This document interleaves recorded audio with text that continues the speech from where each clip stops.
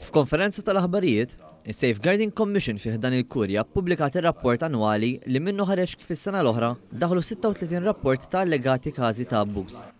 Sebgħa mill-każi jmorru lura għal aktar minn għaxar snin.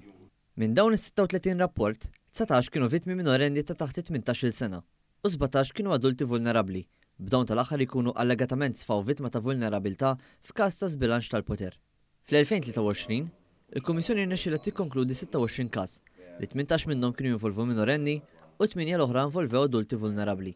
Mill-każi li involvew minorenni, erbgħa biss kellhom provi sostanzjati, filwaqt li tlieta mill-każijiet ġew investigati internament mill-organizzazzjoni.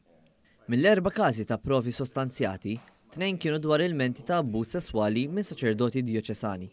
Mit-tmien każi li involvew adulti vulnerabbli, Erba' kellhom provi sostanzjati u erba' oħra ġew konklużi li kienu każijiet antiki, jiġifieri seħħew aktar minn għaxar snin ilu. Fil-konferenza tal-aħbarijiet, ġie spjegat lill-ġurnalisti li s-Safeguarding Commission għandha l-missjoni li tħares lill-vittmi u toħloq prattiċi biex tiġi evitata kull forma ta' abbuż relatat ma' safeguarding.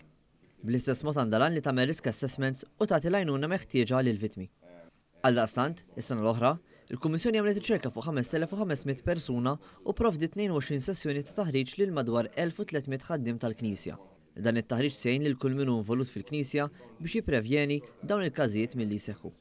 Kull min jixtieq jkellem lis-Safeguarding Commission jista' jċempel fuq 2247-0950 jew jibgħat email fuq info@safeguarding.mt. Aktar dettalji jinstabu fuq safeguarding.mt.